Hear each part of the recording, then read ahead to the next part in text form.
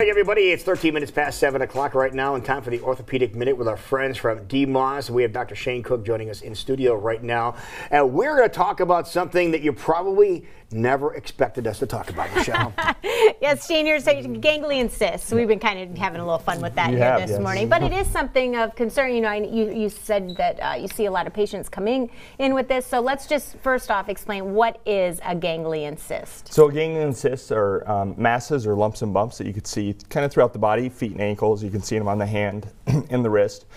What they are is they're um, benign, meaning not aggressive or not a tumor, you know, not an aggressive tumor, but Okay. a benign uh, mass that can grow out of your wrist. They can be cosmetic. They can cause issues, No, you know, do- with do they, do they look like big bumps that come out of your wrist? Yeah. Or, or is it ju- you just feel it if you, if you touch your skin? Or Yeah, so it can be both. They can be large, they can be smaller, they can cause pain and not. There's some pictures here. Yeah, so we got a picture up right here. So they usually present near the wrist, but they can present on either side of the wrist, the front or the back.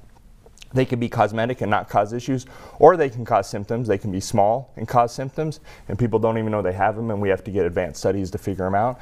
But um, they can be symptomatic and cause issues for patients. Well, you can see some of the uh, developments here in some of the the areas where they do grow. And are, are these are these painful at all? Or So they can be painful. I, patients present with um, multiple complaints. One is cosmetic; they just don't like, like the way it looks. You know, young females, um, it can bother them. So that's one way they can present. The other way they can present is pain, and it can be diffuse pain. It can be localized pain. Some people don't know what's going on. It could be caused. You know, there could be other symptoms like carpal tunnel symptoms associated with this cyst or something like that pushing on a nerve. So it presents in many different ways. D- is this something that happens to people of all ages? It does. It can happen to people of all ages.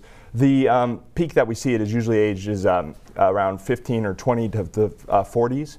Um, those are the peak ages, but it can happen from anywhere from young children to up to um, uh, elderly people. Okay, and you say it's common in people, as you mentioned, between 15 and 40 years old. And uh, you have a gymnast listed there. Uh, what is that all about? Yeah, so sometimes it could be associated with more repetitive activities and it can ex- exacerbate it or they can be more symptomatic. So we see a lot of people in the athletic population that it could be bothersome for. Okay, so so there is a cause. There's there's a reason that these are developing. Yeah, yeah. Some we don't really know what the cause is, but we do see it in uh, this population more so, and I think it's because they're more athletic and they're more using it more, so it can be more uh, persistent and bothersome, and it could flare it up and cause more issues. Are these? Will they continue to kind of keep growing? Do they kind of reach a little uh, point where they stop? Or? Yes, that's a great question. Um, most of the time in adolescence, they'll go away on their own if you give them time, Oh, bracing. Yeah, you can use multiple modalities of, of, you know, conservative treatment, we call it, such as bracing, anti-inflammatories, things such as that, and it will spontaneously resolve on its own. Okay. With that being said, there's some that are persistent, that stick around, and those can be symptomatic and bothersome for patients.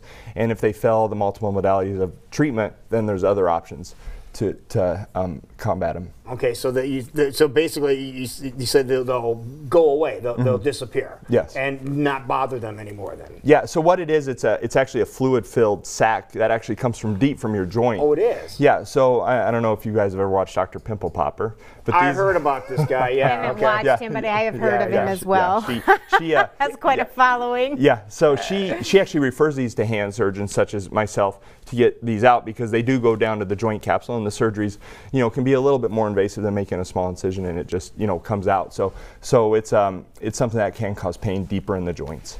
Okay. Once they're removed, do they have a, a- you know, is the likelihood of them coming back?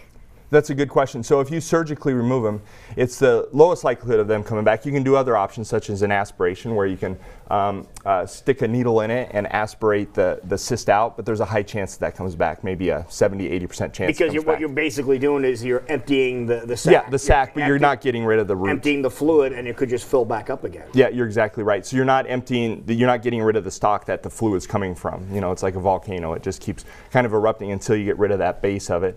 Once you surgically remove it, there's about a 5 to 10% chance it comes back, but pretty low. Pretty low. Pretty low chance. Now you mentioned uh, repetitive action uh, seems to be the cause of this occasionally. Would that include being on devices or computer keyboards or anything? Yeah, it or is has- that- or is that something a little different? That's pr- that's probably something a little different. I, I think um, I think people present in different ways, and we really don't know what causes it, so it can be hard to pinpoint to what what what causes it. But yeah, typically, you know, people have different complaints. Say, "Oh, I'm on a computer all day. That's why this happened." Well, it may not be that way, but but some people, you know, they, they think it gets worse with typing and, and activities such as that. So if someone kind of notices that they've got something like this, that's, are there things that they can kind of do to keep it at bay, you know, at home, or is it something that they really need to come and see somebody and get it treated?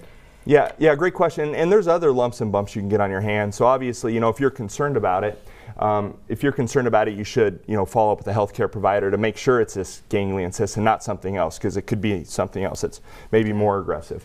All right. So again, if you are discovering, it, again, you should be paying attention to what's happening with your body Yeah. anyway. Uh, but this is just one of the things you want to keep an eye on. Right? Yep, yep. And and uh, back to Michelle's question, you know, you can try bracing anti-inflammatories, things such as that.